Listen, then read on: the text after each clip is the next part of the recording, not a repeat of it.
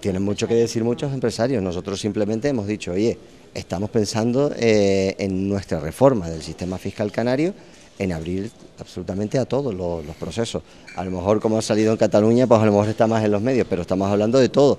Estamos hablando del IGIC, estamos hablando eh, en este caso del impuesto de sucesiones, y donaciones que hemos, como saben, bonificado, hemos bajado el IGIC cultural, hemos ido dando pasitos y ahora lo que seguimos dando pasitos en esa revisión general.